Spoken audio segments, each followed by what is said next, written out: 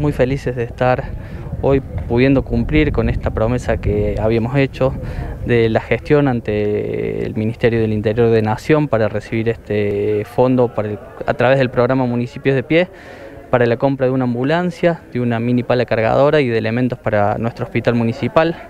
Agradecidos a, a, todo el ministerio, sobre todo a dos funcionarios que estuvieron hace muy poco tiempo acá para la firma del convenio, Tato Giles y Joaquín Bessi, al ex senador nacional Carlos Caserio que nos acompaña siempre en cada una de estas gestiones y nos ha facilitado todo, todo el trámite.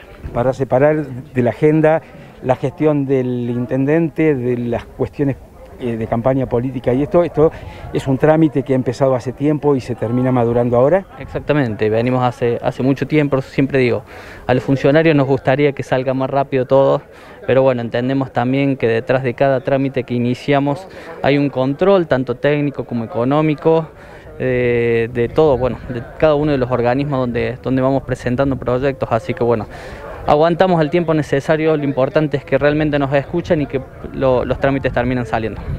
Esto es importante, ¿no? Porque estás dotando al hospital de un equipo de primera, estamos viendo también solamente, no solamente la ambulancia, sino equipos de asistencia médica. Sí, sí, por supuesto, muy importante para nosotros.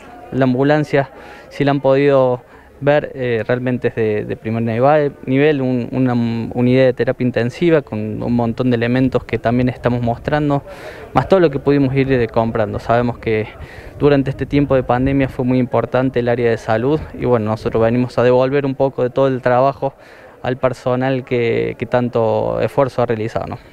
En el día de hoy vamos a estar recibiendo formalmente una ambulancia nueva con, bueno, todo un, eh, digamos, el material que acompaña, eh, oxígeno, bueno, eh, el bolso, digamos, con todo lo que se requiere para las, urgencias.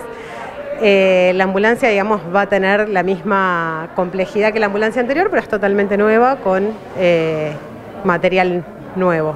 ¿Esto es de alta complejidad? sí, en realidad, digamos, la función va a ser para traslado de eh, pacientes con, digamos que no requieran acompañamiento médico, con lo cual no va a ser de alta complejidad eh, el tipo de, traslados que se realicen. Pero sí está preparada, digamos, para bueno, atender alguna urgencia así de mayor complejidad que se pueda dar. ¿Esto va a estar basado en el hospital municipal? Sí, exacto. Eh, va a depender, digamos, del hospital municipal. Bien, además de este equipamiento que estamos viendo hoy, el hospital fue incrementando los servicios, eh, hemos visto obras. Hoy, ¿cómo está la atención sanitaria de ese hospital para con la comunidad de la cumbre? Eh, el hospital, digamos, sigue siendo un hospital eh, que atiende baja complejidad, digamos. lo que requiera mayor complejidad, bueno, obviamente es derivado a los hospitales de referencia, pero sí el hospital eh, tanto con las refacciones que se hicieron en los últimos años y con todo el material que se está adquiriendo nuevo, eh, permite renovar digamos, todos los insumos y, los elementos de trabajo para poder brindar la mejor atención para la comunidad.